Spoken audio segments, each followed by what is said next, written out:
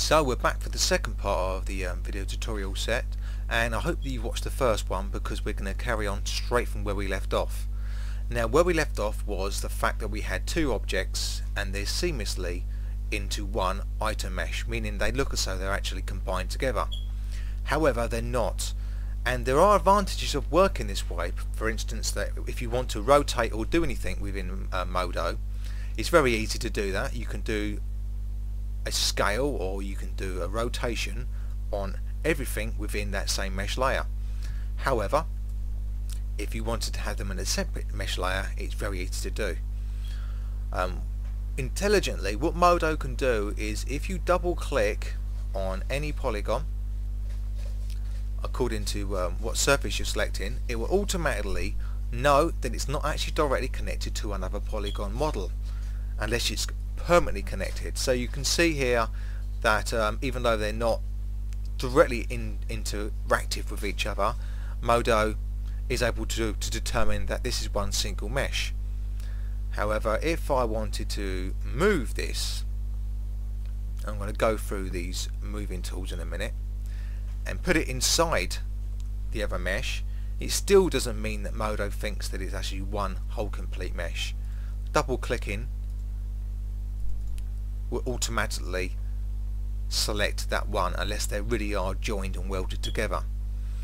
Now I want to bring this um, mesh here into its own mesh layer. So what I do is simply just double click on all the polygons control and X to cut it and go to the new in the items menu and you can see mesh.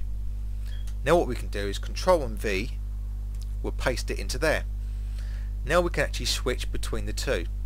Now by default, whatever mesh layer we've selected will automatically make the other mesh layer a wireframe.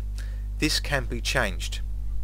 However, before I go into all of that, we're going to go into how to navigate not around the 3D viewport that we've already done, but navigate the actual object in 3D space itself.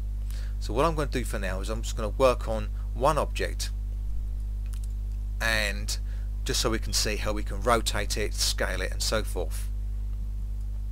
So first of all we need to better know where we're selecting the vertices, edges, polygons or the actual item itself and simply they're able to be selected from above here.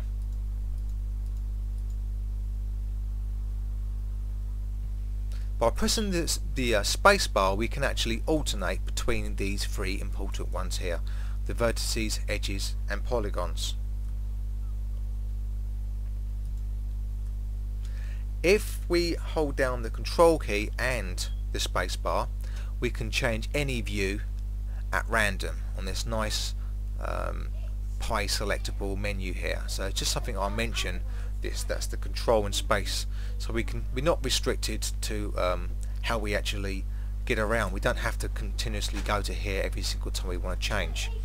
And the reason why I'm mentioning this now is is because when we're using the rotating um, the transform tools we're going to need sometimes to actually work in these specific 2D um, orthographic views.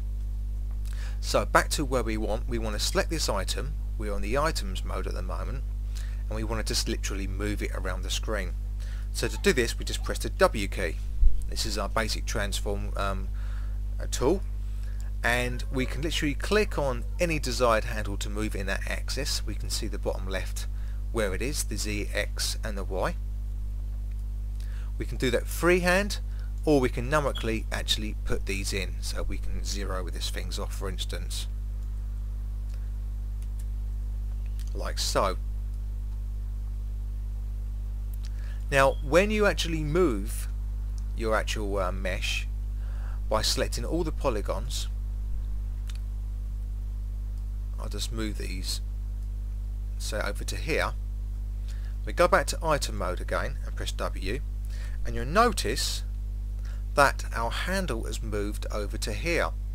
Now what essentially I've done is by moving the item by selecting all the polygons I've actually moved it away from its actual tool handle it's not a permanent thing but just something that I should mention now normally when you move things you want to move it by an item now when you move this by the item it's not going to change the tool handle but we can easily get the tool handle to center directly on the actual center of our object. Now there is sometimes slightly more confusing um, than other applications a action center and this is all about the way that this tool interacts with the object. However just to quickly get this tool back into the center of this object all we do is simply go to edit and we go to pivot to bounding box center and you can see that it locks straight to the center and then it eliminates the problem of having the handle elsewhere. We're going to go for the action center a bit later on but for now we can see this is an easy way to get it back into the center of our object. Now you can see that we've actually got these handles here so we can actually move across a specific plane of two axes simultaneously. So this one here, you can see here that we're actually able to move between the Z and the X. This one here, we are able to move between the Y and the X free form around. So that's kind of handy there. We've obviously got the other handle here which are able to move across this axis as well. So that's kind of the actual um, transform tool to get around. I'm just going to center this off into 3D space at the moment. So now we can move on and press the E key. The E key gives us our rotation. Again in any desired um, rotation you can see it exactly the same way it would be. Now as we rotate you can see that I can actually pull my mouse handle off. You can see I've got this like um, line pulling away from the actual rotation. What this does is it slows down the actual movement so I can get much much more accurate on movement. The closer I get the more faster it becomes and sometimes I can be out of control. I move away and allows me to slowly move it in the uh, orientation that I want. So this is very very handy. It's got a nice falloff falloff um, value there. If I wanted to move it into a specific axis, it's very easy. You can just rotate, say 90 degrees. That's the position. Um, rotation. I'll just put this position back to zero. So we want to rotate around this axis. We can. We want to rotate around this axis. We can. So it's very, very easy to do. Now, if we press the R key, this gives us our scale again we can click on these handles and we can scale in the direction that we want or we can click in the center one and scale globally which means it's not going to change the actual orientation of our actual model. Sometimes you've got to be very careful what you're actually selecting. You can click in the center here. You can see that we're not actually changing the actual form of our model. We're actually globally doing it there. We've actually also got these handles. So we've got the same as we did for the transform tool to actually scale between two axes simultaneously. So these can be very very very handy. So we've got our W. We'll just make sure I told you. We've got a W for transform E for rotation and R for transform. If you press the Y key we've got like a universal manipulator tool which gives us more than one tool at once. This is something that I enjoy very much within um, DAZ 3D Hexagon and it's something that you can use very very um, distinctively between all of them. You can see we can move, rotate and scale.